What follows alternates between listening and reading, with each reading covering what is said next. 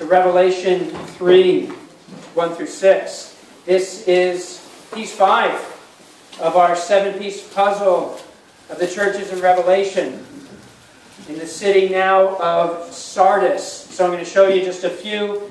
So Sardis, again, I think it was like 35 miles uh, south of Thyatira. We're kind of making a loop from Patmos to Ephesus, up to Smyrna, Pergamum, Thyatira, now Sardis.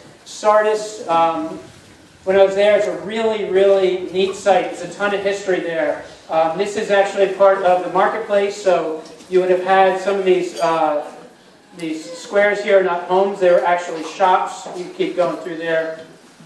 The next one, this is kind of neat that this, there's a plaque here. This was, uh, would have been obviously a Christian dye maker or pen, uh, paint maker. So those would have been his uh, uh bins for his paints and dyes. In Sardis, there is a very large ancient synagogue. I, I read in one place that it was one of the biggest, if not the largest, synagogue outside of Palestine. So again, these, this is part of the synagogue.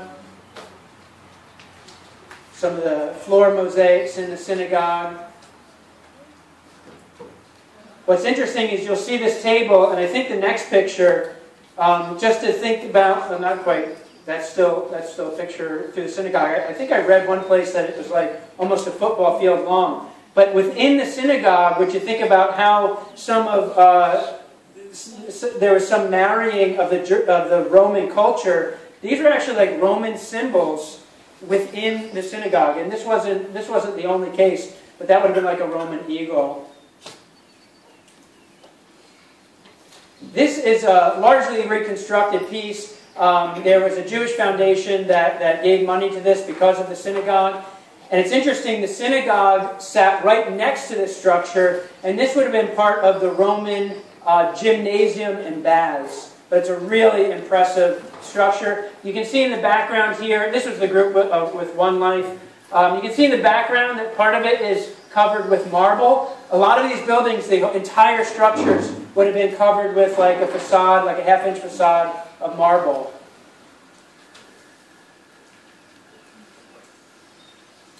Uh, this is one of the coffins, we would say, they had a very large, large necropolis there. Just pause on that for a second. A necropolis was like a cemetery. Um, so it's actually literally City of the Dead, necropolis. And they were known for a very, very large necropolis, which is interesting when we read our text. Now this is, a, this is coming into a very large temple to Artemis, or Diana. This temple was worked on, I, I believe, for like centuries and never completed. Um, when they first came to this site, see those two large pillars in the back? Those, they were just, their two large pillars were just standing up out of the ground. And again, they dug all of this down. So you can go to the next picture. This is a tremendous site here. There's actually on the hills on one side and the other, you can still see parts of the walls dating back to like the Persian Empire. It's, it's, it's crazy. These next couple of pictures, I believe, um, so this building right here is right in the corner of the Temple of Artemis. It's a smaller building, and it's one of the oldest church buildings standing in the world. It dates back to like the 4th century. That proves that I was actually there. yeah. yeah. This is one of my favorite pictures. Uh, I didn't take this picture. Tim Cody took this picture, and he just said, he said, in the world, but not of it. I just thought, oh, that's so cool. You know, this, this little church right next to this, this uh, pagan temple. Is that all? Um, Sardis has really ancient roots. Um, it pre well predates the Roman Empire. It was the ancient uh, capital of the ancient kingdom of Lydia. It was later taken by Alexander the Great, um, and later the Romans governed in, uh, beginning in the late second century BC. It was at the intersection of a lot of trading routes, so there was a lot of commerce, a lot of trade there. Uh, they, they were famous for being the first place to mint coins, to mint gold and silver coins. In AD 70, there was a large earthquake, uh, not 70, sorry, that was a different event. AD 17, there was a, a large earthquake and the whole area was, was really decimated. But the Emperor Tiberius of Rome remitted their taxes for like five years, so they were able to rebuild the city. Century, centuries before the Roman Empire, like I said, this was, this was a capital city, and it was considered impenetrable because of its strategic location and its high uh, walls. Um, but it was, it was taken, and again, I think this is important to our text, it was taken twice by surprise. They just, I mean, and literally, like, armies would surround the city, and it was just like you could not get in. Um, one, of the, one of the most famous times that it was taken, it was actually taken by King Cyrus. So, like, yes, that Cyrus, the Cyrus of the Bible. Um, and what happened is he had, they had, the, the, uh, the people had retreated within the walls of the city. Cyrus encamped around the city and wasn't able to take the city. But while they were watching the walls, apparently there was one wall that was left really lightly guarded because it was just so steep. And apparently there was a watchman on top of the wall that fell asleep or something like that, and his helmet, this is a true story, his helmet fell down off the wall. So he actually was able to navigate, he scampered down a section of that wall and then retrieved his helmet and scampered back up that section of the wall. Well, there was someone from the, from the army of Cyrus that watched him do that. Oh, he came down this way. Oh, he went up that way. And that is where he set special forces up because it was unguarded and or lightly guarded, and then they took the city from within. And then a few hundred years later, something very similar happened. They had an unguarded section of wall, this impenetrable city, and, and the, the army that was surrounding them noticed vultures kept gathering in a certain area. And what was happening is they were throwing some of their dead over this wall, and the vultures were eating the dead. But because of that, that area of the wall, they realized again was totally unguarded. They had men that were able to traverse the wall, get into the city, open the gates from the inside. Um, by the time this letter was written, Sardis was still a proper, uh, prosperous Roman city of commerce but it was in great decline compared to its former glory. One author uh, commented that Sardis was a peaceful city, but that it was the peace of a man whose dreams are dead and whose mind is asleep. The peace of lethargy and evasion. So that's how he described the city itself of Sardis. So we'll see if Ephesus taught us that the Christian church must be a place of love. And Smyrna taught us that it must be long suffering. Pergamum, that it must be a place of God's truth. Thyatira, that it must, must uphold an ethic of holiness. We just went through that last week. Then I believe Sardis will teach us that the church must be a place of what I'm going to call Holy Spirit led authenticity. Holy Spirit led authenticity. So let's read this letter first six verses of Revelation chapter 3. To the angel of the church in Sardis write, These are the words of him who holds the seven spirits of God and the seven stars. I know your deeds. You have a reputation of being what? Alive. That's the rep. But you are what? Dead. Wake up. Strengthen what remains and is about to die. For I have not found your deeds complete in the sight of God. Integrate, I just want to pause. It's only Jesus that can tell something that is dead to wake up. Right? That's, that's what Jesus can do. Nobody else can do that. Oh, you're dead? Wake up. He has the power to do that. Remember, verse 3 Remember therefore what you have received and heard, obey it and repent. But if you do not wake up, I will come like a thief, and you will not know at what time I will come to you. It does not seem like that's talking about the second coming, but a specific judgment on this church in Sardis. Verse 4 Yet you have a few people in Sardis who have not soiled their clothes they will walk with me dressed in white, for they are worthy. He who overcomes will, like them, be dressed in white. I will never blot out his name from the book of life, but will acknowledge his name before my Father and his angels. He who has an ear, let him hear what the Spirit says to the churches. Some of that imagery would have really stood out to them too, in this idea of being dressed in white, because they were known for their wool industry. Um, so, as usual, Jesus begins by emphasizing parts of the original vision we have in Revelation chapter 1 in his glorified self. This beautiful but just overwhelming, overwhelmingly majestic vision of Christ. Here he holds the seven stars and now holds the seven spirits. Um, those spirits are mentioned in chapter 1, verse 4, and they are seen there before God's throne. In, in chapter 1, verse 20, Jesus says very clearly that the seven stars are the angels of the seven churches. Now, we went over this prior that an angel, that word simply means what?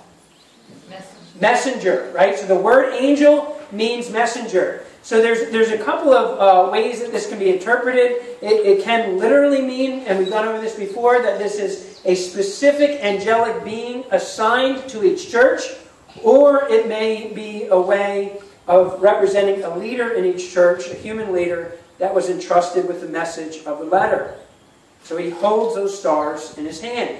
Now, here, he also says he holds the seven spirits in his hand. And now there's a couple possibilities. You got to say, well, what, what, is, what are those seven spirits? Now, one possibility is that this is referring to created spiritual beings in which God has granted a high status in his kingdom. And this wouldn't be unprecedented. We see throughout the scripture uh, several examples of created spiritual beings of varying rank, of varying authority, um, some that we likely incorrectly always generalize as angels. We think of all created spiritual beings as angels, but those are messengers. Um, and, and we see them throughout Scripture having various, uh, as, as I said, rank, authority, and access to God's throne. So that's one possibility. Another possibility, and this is by far the most prominent concept among biblical scholars uh, today, is that this is a unique description of the Holy Spirit of God. Um, for in the phrase in the Greek could be rendered the sevenfold Spirit. Now, the word Spirit in the Bible is a really interesting one. Anybody want to know why? I mean, there's might be more than one reason, but why is it, why is it a bit of a challenge when we come to the word Spirit in the Bible? Okay, I'll, I'll tell you. Um, so the, the word spirit, it, it, you'll notice in English, in your English translations, at times the word spirit is lowercase, right? And at times it's capitalized. So when the word spirit is capitalized in your Bible, that re- represents the Holy Spirit of the living God. We would say the third person of the, of the Trinity, right? Um, but then there's other times that it's lowercase, and that would represent something else. That could represent the spirit of a person. That could represent another created spiritual being in the heavenlies.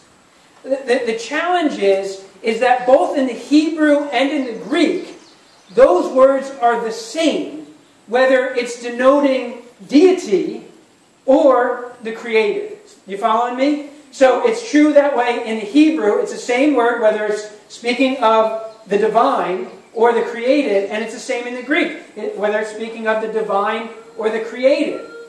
And so, what you have to do, and what Bible scholars and interpreters have to do, is they have to figure out which they're speaking of in the by the context, right? They have to say what is the context speaking of, and that's why sometimes you'll see a cross reference in your Bible where it'll be a lowercase and, and the cross reference will just say spirit uppercase because there might be a little bit of, of, mystery there. So that's the interesting thing about this word spirit. And, and in both the Hebrew and the Greek, they both literally mean what? Wind or breath. Wind or breath. So why would this Holy Spirit be called the sevenfold Spirit? It would not mean, and remember that Revelation is incredibly metaphorical it would not mean that, that the Holy Spirit is literally plural. What it would be speaking of, if this is the case, that this is the Spirit, it would be speaking of the representation of what we call the we could call the perfection of His manifestations. And I say perfection because again, that number seven is the number of completion, number of perfection. So the perfection of His manifestations. And here many point to Isaiah 11, 1 and 2, and that's kind of what this diagram is here too. Um, you see a menorah, but it's, it's referring to what we find in Isaiah 11, 1 and 2. And it reads like this A shoot will come up from the stump of Jesse. Who is that? It's talking about Jesus, right? So Jesse was the father of David, King David. The Messiah would come in the line of David. So a shoot would come up from the stump of Jesse. From his roots, a branch will bear fruit. Now listen to this. The Spirit, capital S, of the Lord will rest upon him the spirit of wisdom and understanding, the spirit of counsel and of power, the spirit of knowledge and the fear of the Lord. All right, so a lot of people refer to this idea of the, the seven perfect manifestations of the Holy Spirit of God, and that could be one strong possibility of what's being referred to here. You follow me? Clear as mud? Okay. So, for those who follow the church calendar, it's already been mentioned that today is what? Pentecost Sunday. So it's this. So this is. I gotta admit, I'm like a little goosebumping it today. Like maybe because it's like when God makes connections. Like people aren't looking at my notes, you know, and like and people. It, it just. I, I trust that God is bringing things together even this morning. So today is the celebration of Pentecost Sunday. The, the celebration of now that was a Jewish uh, feast celebration um, where where tons of people would come into Jerusalem and the Holy Spirit of God fell on this little band of followers of Jesus after the Lord had died and resurrection and ascended. And the Lord's like, hey, you wait, you go and you wait for the counselor to come to you. And he did. He came like a rushing wind through this place, and tongues of fire, uh, what looked like, he said, tongues of fire, came upon each person in the room, and it was like they were transformed with power that is, that is a prophecy being fulfilled that God would pour out His Holy Spirit on His people during this age of the church in a way like never ever before. I think what's really interesting is if this is really a reference to the Spirit of the living God, the sevenfold Spirit, then Jesus is already cluing us in right from the start at both what we might call the problem at Sardis and the solution for Sardis. For, for Romans 8 2 says that the Holy Spirit is the Spirit of life. The Spirit of life. Um, when Jesus gives his I know statement, right, each letter, I know, I know, I know, I know where you live, I know your deeds, I know your afflictions. Here he says again, I know your deeds, but he knows what no one else perceives, right? He says, You have a reputation. This is what you're known for. This is the name that you have. You have a reputation for being alive, but you are dead. The church of Sardis is not what it seems, right? The church of Sardis has a phony reputation. I have just like that picture. You guys got, if you can see, he's got paper clips. Oh, hold this smile. Now, certainly a, a good reputation is of value, right? Um, but the problem is that it too often comes from outward appearances, right? It comes from outward appearances. This is one of the problems of social media. You can, you know, someone can present an image on Facebook or Instagram or whatever else there is anymore. Um, what else is there? Snapchat. Snapchat, Twitter, I don't know. So they, they can present an image, but that's not necessarily who they actually are. Right? So, you know, I want to present this image. I'm so happy. I'm so successful. I'm so whatever. Look at my pictures, and I only show you the best of my life. Right? So you can build this image or this reputation on social media to be something that really doesn't show who you are. So, God told Samuel, I do have this in my notes, Abby. God told Samuel, go to Jesse's house and go. You're going to, the next king, you know, Saul is going to be done. The next king is going to come from Jesse's family. And Saul and Samuel comes up, the prophet, and he's checking out these big studs. And he's like, whoa, he'd be a good king. Whoa, he'd be a good king. Look at him, look at him, look at him. And David's out, you know, the little scrawny young guy with the sheep. And this has already been read. 1 Samuel 16, 7. It, says, the Lord, this is the Lord speaking. The Lord does not look at the things man looks at. Man looks at the outward appearance, but the Lord looks at the heart. It very well may be, too, that Sardis was kind of buying into their own press. Right? So if someone tells you, oh man, you're doing great. Oh, keep keep up, you're, you're such a success. You know, people eventually they get that reputation, they can start believing their own press. I believe it was actually Plato, the Greek philosopher, who coined the phrase, the worst of all deceptions is self-deception. The worst of all deceptions is self-deception. An old commentator named W. Boyd Carpenter said self-satisfaction, which springs up when a certain reputation has been acquired, is the very road to self-deception. Self-satisfaction. Ah, look how good I'm doing. Look how well I'm doing which springs up when a certain reputation has been acquired. Oh, look at the legacy I'm building. It's the very road to self deception. This church seemed alive.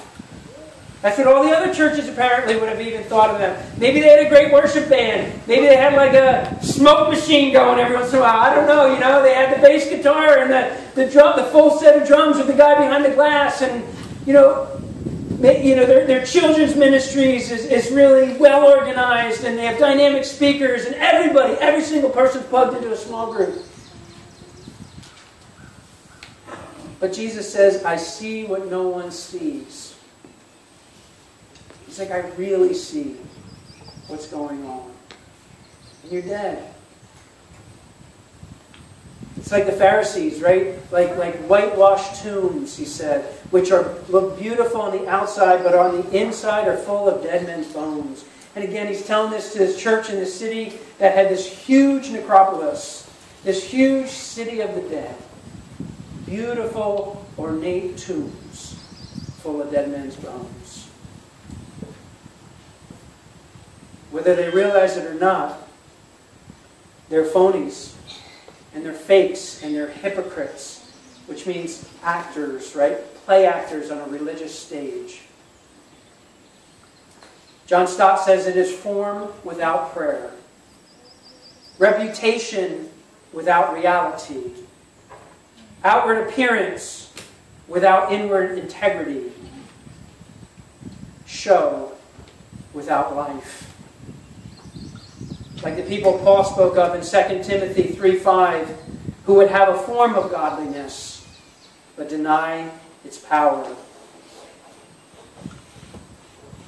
They were a church where most, even though Jesus speaks of a, of a remnant, a faithful remnant, and I believe that even, again, it's always that remnant that can stir up the life of the Spirit of the living God within a church. They, it, it, most of the church had soiled their clothes. It would have been this picture of, of sinful defilement. E- even in the pagan cultures, you didn't go into the pagan temples with soiled clothes. You had to have clean robes. They were a church of incomplete deeds. Right? He says, I know uh, your deeds are incomplete. They're, we might say they're a church of half measures. I'll do just enough for the show. I thought, can you really half love? Can, can you really half pray? Can you half worship? Can, can you half obey? Can you half persevere? Can you half be faithful? Your deeds are incomplete. You're, you're, you're, you're a people of half measures. Isaiah 29 13. These people come near to me with their mouth and honor me with their lips, but their hearts are far from me. And maybe that they, they were, again, reflecting their surroundings. They were, they were fish in water, and they, they, they were mirroring the city that was living in past glories. Well, we were really good back then, and now the machine is created and it continues to run. John Phillips says every church is born in some time of the Holy Spirit's moving. Right? So that's interesting. Every church is born in some time of the Holy Spirit's moving. But eventually, the movement becomes a monument. Wow. The movement becomes a monument. Oh, look at what we've done. Look at what we've created. he says it's replaced with a more formal, ritualistic, traditionalized, stereotyped, and complacent form of activity. We also don't hear of any persecution in Sardis. I mean, so many of the other churches, like they're being persecuted.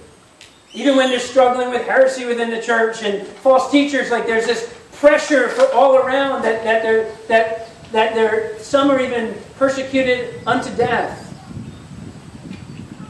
But Sardis, all is peaceful. Were they a church more concerned about blending in than shining the light of Jesus? Was it that their faith and their witness had become so nominal that there was nothing to persecute? One commentator wrote that the church of Sardis set herself the task of avoiding hardship by pursuing a policy based on convenience and circumspection, that is, extreme caution, rather than wholehearted zeal. Leon Morris writes The temptation for the sheltered is always to take things easy, and they readily become slack. But they appeared alive.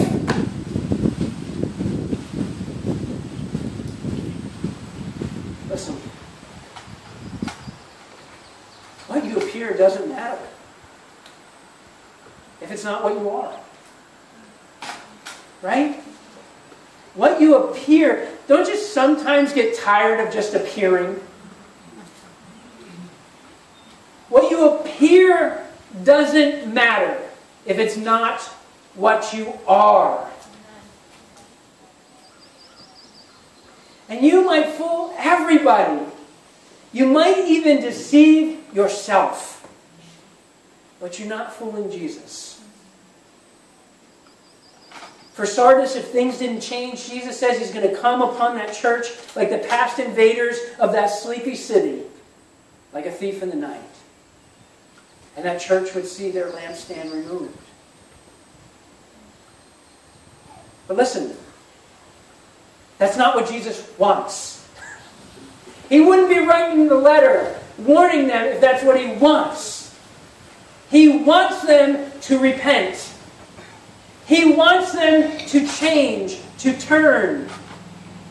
Again, W. Boyd Carpenter says, formal tenacity of truth, and listen to this phrase, and a fruitless, inactive regret. So let me say that again. Formal tenacity of truth and a fruitless, inactive regret are alike useless. There must be a sorrow which shows itself in action a repentance whereby sin is forsaken. So Jesus charges them, and he sums it up with two concise words. He says, Wake up! like, all right. Isaiah 42 3 says, A bruised reed he will not break, a smoldering wick he will not snuff out. But listen, a smoldering wick, if left by itself, it's going to burn out itself. Right? It needs to be fanned into flame. And I love, you know, this theme of the Spirit of the living God and the wind blowing through here.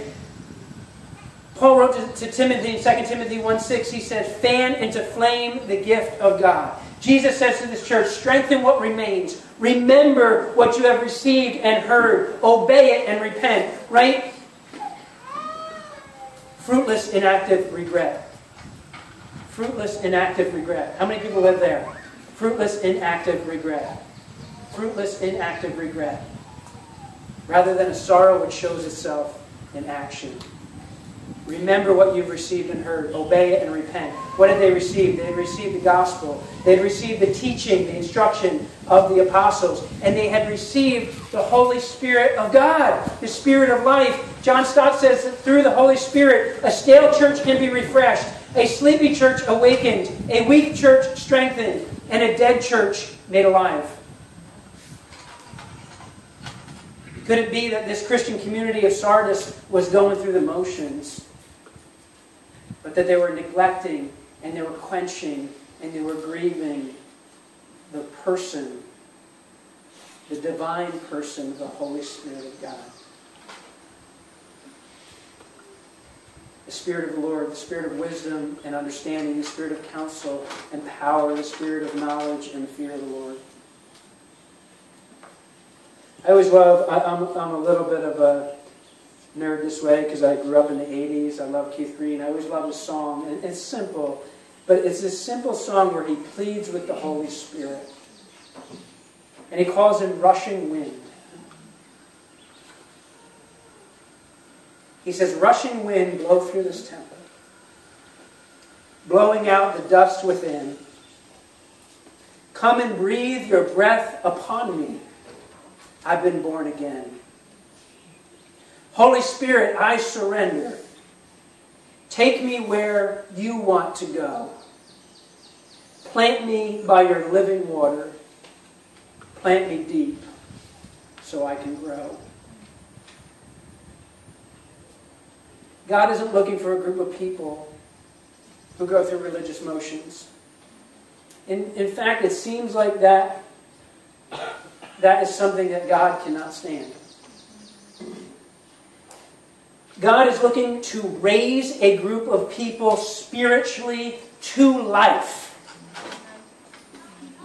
and to transform them and lead them by the power of His Holy Spirit according to the fruit of the Holy Spirit love, joy, peace, patience, kindness, goodness, gentleness, faithfulness, and self control, according to the gifts of the Holy Spirit, according to the message of Jesus Christ. That, you know, you remember on Pentecost, Again, that's that scared little huddle of people. When the Holy Spirit of the living God came upon them, all of a sudden they were bursting out those doors in truth and power and sharing the message of Jesus Christ.